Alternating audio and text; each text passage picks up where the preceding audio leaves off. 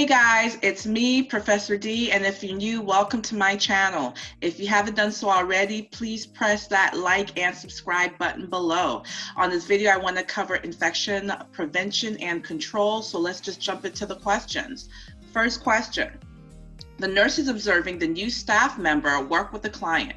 Of the following activities, which one has the greatest possibility of contributing to a nosocomial infection and requires correction? One, washing hands before applying a dressing. Two, taping a plastic bag to the bed for tissue disposal. Three, placing a Foley catheter on the bed when transferring a client. C, using alcohol to cleanse the skin before starting an IV line. I'll give you guys a moment to think about your answer. And the correct answer is C, placing a Foley catheter uh, bag on the bed when transferring a client. So, guys, nosocomial infection, this is infection that a patient gets from the facility, okay? And the number one causes of nosocomial infections in facilities are catheters, urinary catheters, and that's why it's a strict policy. Patients do not get catheters unless they absolutely have to, and the moment that that patient is stable enough, they're safe enough that they don't need that catheter anymore, we pull it out because it's so easy for a patient to get a catheter. So here's the problem with the answer um, with the third choice, putting the bag on the bed. Well, that bag is supposed to be below the bladder. When it's not below the bladder, what happens is you get retrograde flow. And so that bag that was already, uh, the urine that was already in the bag flows back into the bladder along with what? Bacteria, because bacteria likes to do what? Ascend, likes to climb up, okay? So our next question, droplet precautions will be instituted for the client admitted to the infectious disease unit with one, streptococcal pharyngitis, two, herpes simplex, three, pertussis, or four, measles. And I'll give you a moment to think about your answer. Okay, guys, the correct answer is streptococcal pharyngitis. Okay, don't forget droplet precautions are um, any droplets that you, excuse me, you put a patient on droplet precautions when the droplets will be five micrometers or greater, right? Streptococcal pharyngitis, those micro, um, those droplets will be uh, five micrometers or greater. So that patient will be on droplet precautions. But herpes, pertussis, measles, all of those are airborne precautions. And guys, this is on uh, NCLEX, it's on HESI, it's on ATI. You do have to know what's droplet versus what's airborne. Okay. Um, let's do the next question. In a small rural hospital, they work with a wide variety of clients. Of this afternoon clients admitted, the nurse acknowledges that the client with the highest susceptibility to infection is an individual with one, burns, two, diabetes, three, emphysema, or four, peripheral vascular disease. And I'll give you a moment to think about your answer. The correct answer is one infection. Let me tell you something. When the patient has a burn, two, of, well, three, three of your biggest priorities, okay? Your one biggest priority, if that patient had a burn and they inhaled the, the smoke, the, the, um, those noxious fumes, we're worried about airway, okay? Because those noxious fumes will literally cause their clo- their their throat to close up, to swell up, and then now the patient has no airway, they can't breathe. So that's our one uh, biggest concern, okay? After that is infection patients with burns are at great, great, great, great risk for infection. Why? Because remember, the patient's skin is a barrier. It's a barrier from microorganisms. And now that they've been burned, the skin's open, it's a perfect environment, creates a medium for bacteria to settle and grow. And three is dehydration. So when you guys think about burns, I want you to think about airway, infection, and dehydration. And reason dehydration, there's a huge fluid shift uh, make sure you guys watch my video on burns. I go over why that patient is at high risk for dehydration and the nursing interventions for that, okay? Next question. Surgical aseptic techniques are employed by a nurse when one, inserting an IV catheter, two, placing soiled linen in moisture resistant bags, three, disposing of syringes in puncture proof containers, or four, washing hands before changing a dressing. And the correct answer is one, inserting an IV catheter. Why surgical aseptic technique? Because this is an invasive procedure, okay? Anything that is invasive, that is puncturing the skin to go into the body, anything that is going into the body, there is a high, high risk for introducing bacteria, for introducing microorganisms, and you must use aseptic technique. Next question. A nurse is changing the dressing and accidentally drops the packing into the client's abdomen. The client has a large, deep abdomen incision that's packed with sterile half inch packing and covered with a dry 4x4 gauze. The nurse should 1. Add alcohol to the packing and insert it into the incision. 2. Throw the packing away and prepare a new one. 3. Pick up the packing with sterile forceps and gently place it into the incision. Or four, rinse the packing with sterile water, put the packing into the incision with sterile gloves, and I'll give you a moment to think of your answer. And the correct answer is two, throw the packing away and prepare a new one.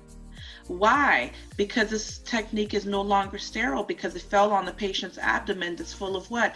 Bacteria and germs. Remember when you're doing sterile technique, you know, don't forget the rules, guys anything below the waist is not sterile. Anything that you turn your back to is no longer sterile. Anything that gets wet is no longer sterile. So don't forget all of your um, all of your rules um, that you learned about sterility. Remember that one inch border um, when you're opening the package, not sterile, right? Next question. Client has a viral infection. Which of the following is typical of the illness stage of the course of her infection? One, there are no longer any acute symptoms. Two, an oral temperature reveals a febrile state. Three, the client was first exposed to infection two days ago but has no symptoms. Four, the client feels sick but is able to continue her normal activities. And the correct answer is two. Uh, typical symptom that you will see with infection is fever. You'll see fever, 100.5 or higher. You'll see redness, you see inflammation. If it's a draining wound, it may be purulent, foul odor. So those are a lot of those signs and symptoms of infection that you may see. Next question. The nurse recognizes that special care must be taken in the handling of which of the following to prevent the transmission of hepatitis A. One, blood. Two, feces. Three, saliva. Four, vaginal secretions. Okay, guys, and the correct answer is two, feces. Um, you guys must know those um, sources for Hep A versus Hep B versus Hep C. Um, if you guys aren't familiar with that, make sure that you guys watch my video on hepatitis. I go over the differences and how the patients can get it. But for this question, we're talking about hepatitis A, and the correct answer is two feces. All right. I know you guys wanted to run to number one, blood. You're thinking blood-borne, but blood, that's hepatitis B okay? Blood is hepatitis B. And the other two choices of saliva and vaginal secretions, eh, no. Okay, you don't have hepatitis by those two. All right. So next question. The parent of a preschool child asked the nurse how chickenpox, varicella zoster, is transmitted.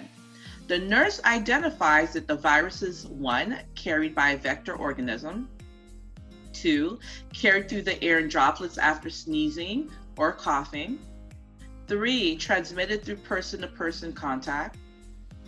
Or four, acquired through contact with contaminated objects. And the correct answer is two, carried through uh, the air in droplets after sneezing and coughing. And that's why patients who are even suspected of having chickenpox or varicella, they have to go on droplet precautions.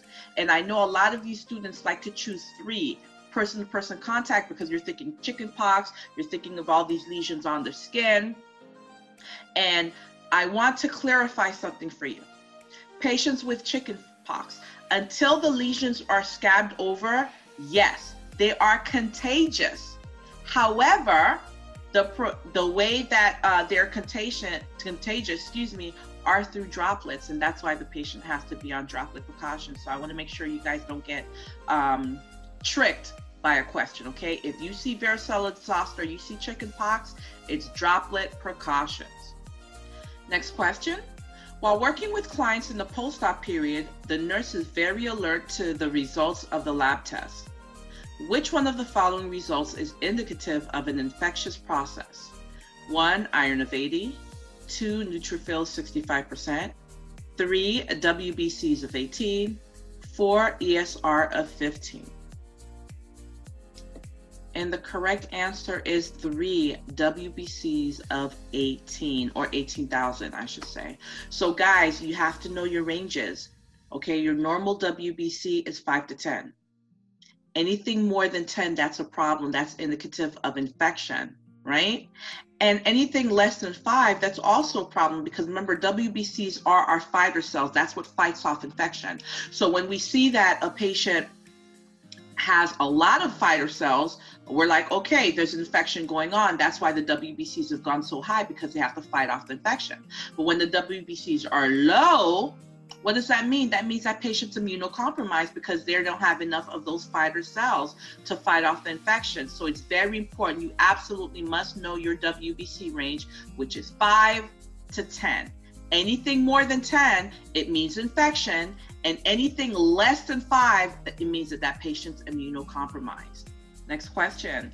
In preventing and controlling the transmission of infections, the single most important technique is one, hand hygiene, two, the use of disposable gloves, three, the use of isolation precautions, or four, sterilization of equipment.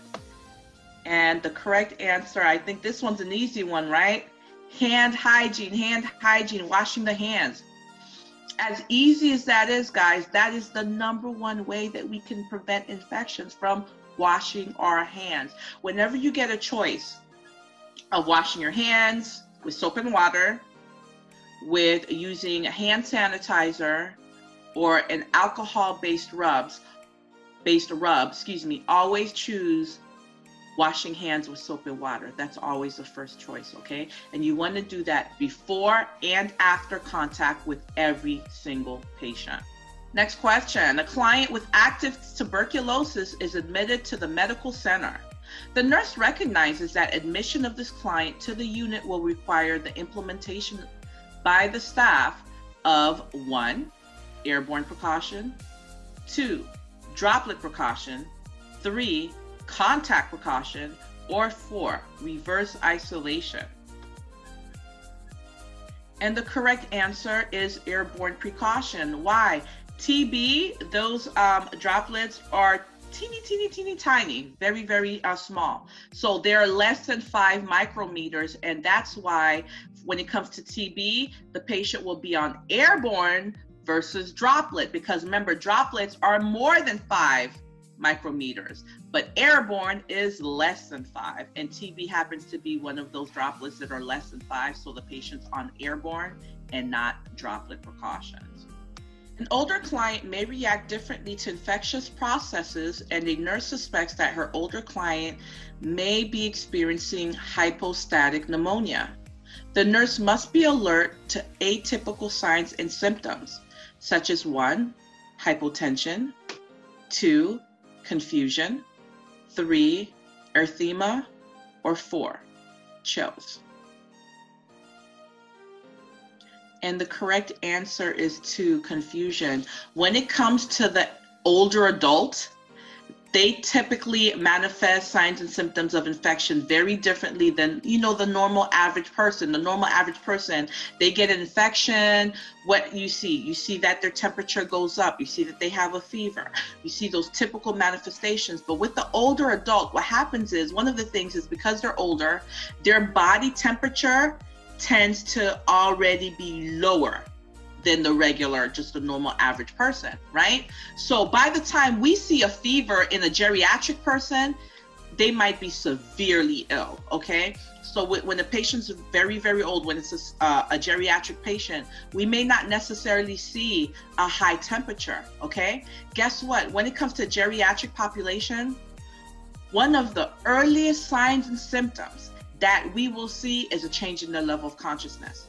What does that mean? That means that that patient has always been awake, alert, oriented. They were with it. Now all of a sudden they think they see their grandma dr- walking down the halls. The very first thing that needs to go to your mind is infection.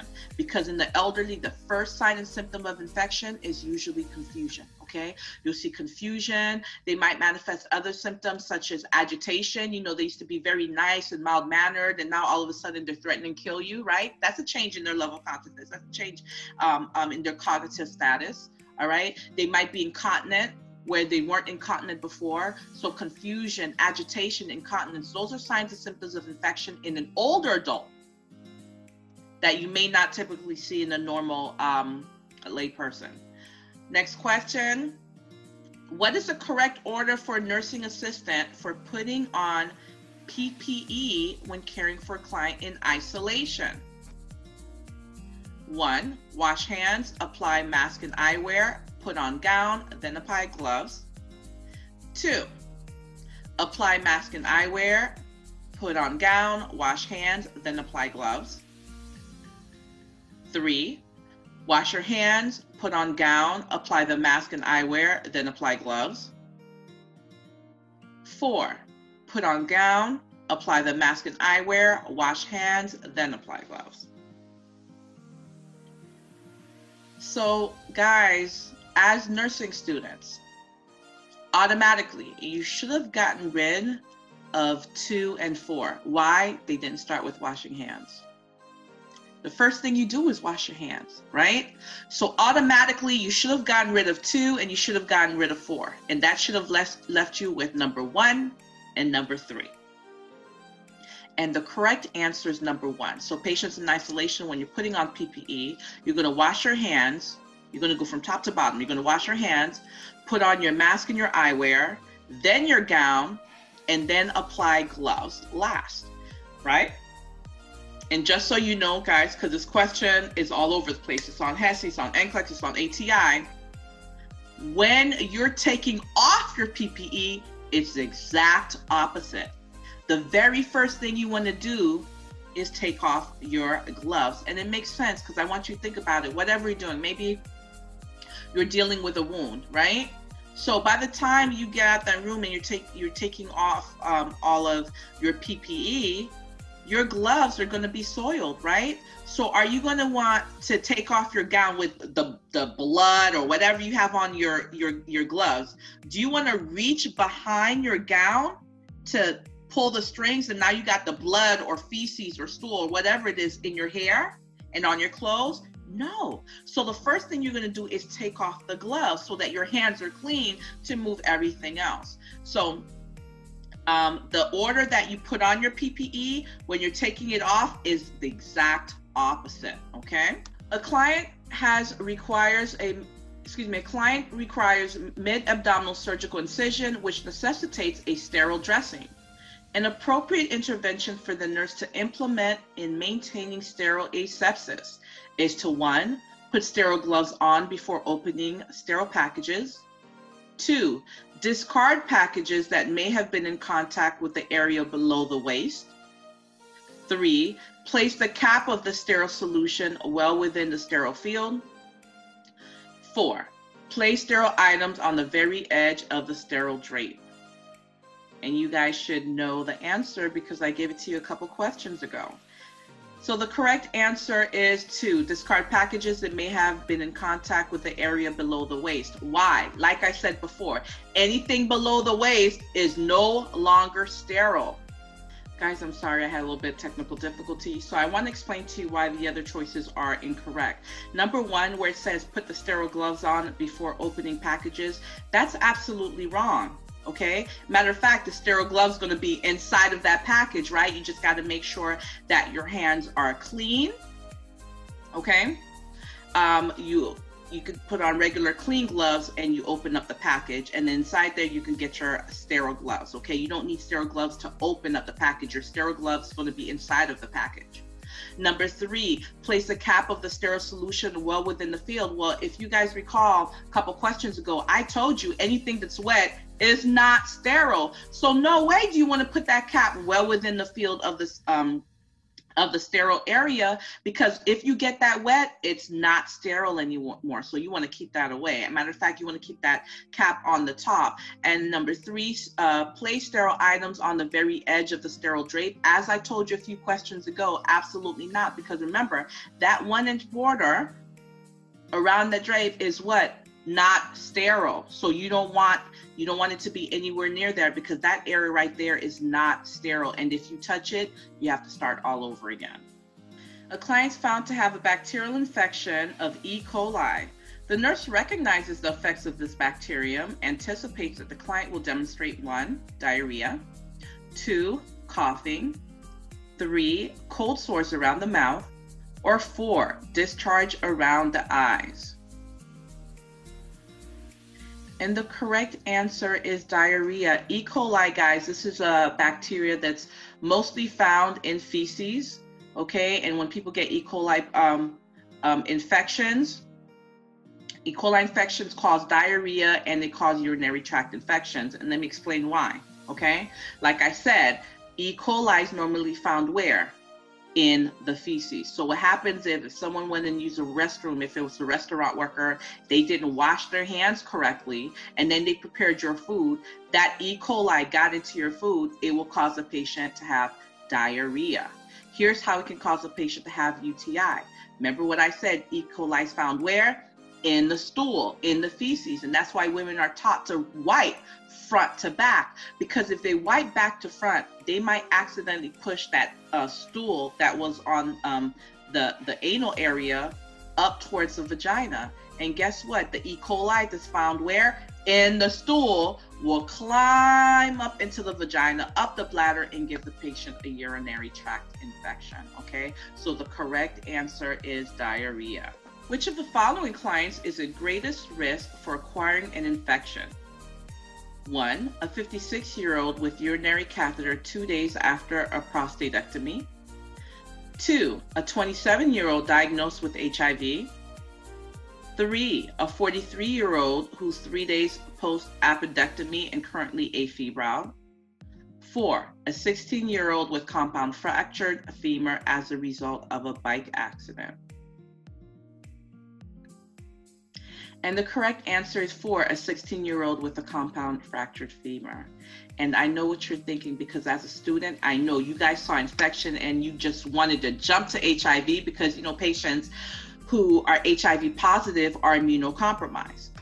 As a nursing student, you're absolutely correct, they're immunocompromised, and that should have been one of your choices. However, look at four. You know what compound fracture is? A compound fracture is what's known as an open fracture. An open fracture is when that bone that's broken pierces through the skin. Okay, you can have a closed fracture and open fracture. A closed fracture is when the bone's broken, but the skin's not open, right? But an open fracture is when the bone's broken and it pierces through the skin. Whenever, and I just talked to you guys about this a couple questions ago, whenever the integrity of the skin is damaged, right? When it's compromised, that's a perfect environment, a perfect medium for what to happen for bacteria to get in, set in, and grow, right? This patient was riding their bike, fell, and they obviously got a compound fracture. Okay, so now they got their bone protruding through the skin, so that's a perfect environment for that bacteria to grow. They're going to be more at risk to get an infection. A nurse is caring for a client who has colonized MRSA Which of the following statements reflects the best understanding of the client's condition? One, the client has bacteria present, but it hasn't become infected. Two, this makes the client's MRSA very infectious and so a danger to others. Three, just be sure to follow standard precautions and there won't be a problem. Four, the client needs to be watched closely for a conversion of, excuse me, for conversion to active MRSA. And the correct answer is one, the client has the bacteria present but hasn't become infected infected. When you see that word colonization, that means that there's a certain bacteria that is present, but it's not causing harm. Okay, I want to give you guys an example. We all, as human beings, we all carry staph on our skin. We walk around with it every day, right? But if we're healthy individuals and we get a cut, it doesn't harm us, right? But if a patient's immunocompromised or they're elderly or their immune system's down, that same staph that they carry around on their skin if they get a cut and that same staph gets into that cut and turns into MRSA, turns into a horrible infection, right? That's what colonization means. So we walk around with staph all the time, but it's not causing us harm.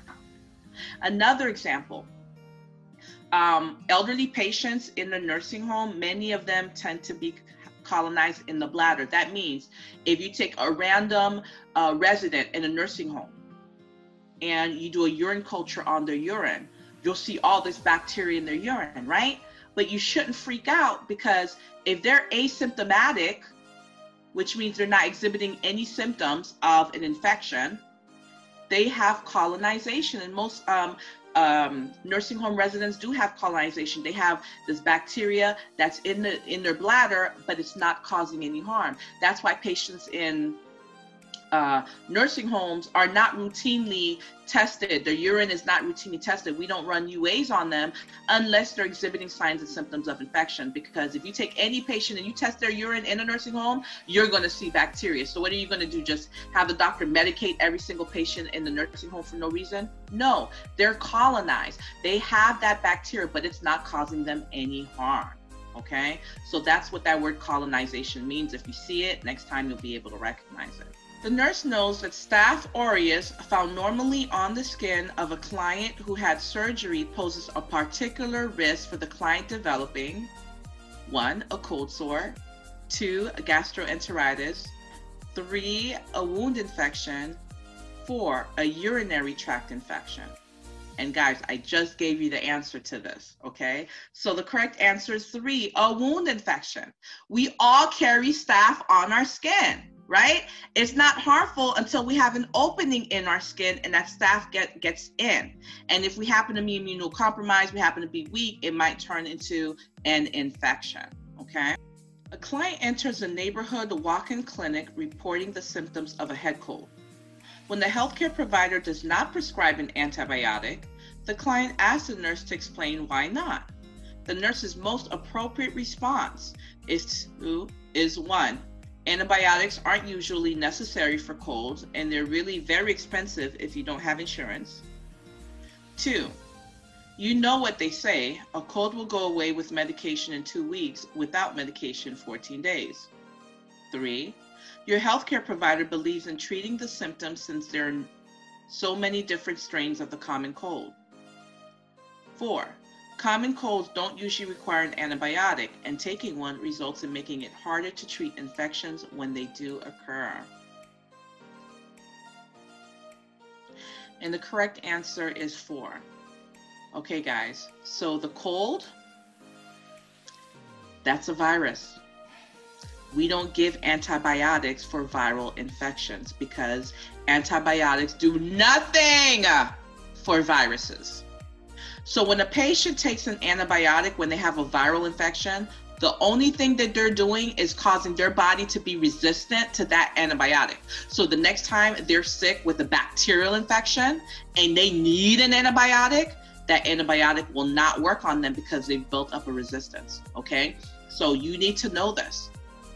Never, ever, ever give an antibiotic for a viral infection. So if you get a question and in the question the patient has a viral infection and the doctor ordered an antibiotic, are you going to give it? No, you're going to question that order. You're going to call up the physician and say, "Hey, I noticed the patient was diagnosed with this viral infection and you wanted me to give an antibiotic and you get clarification, okay? Never give an antibiotic for viral infection.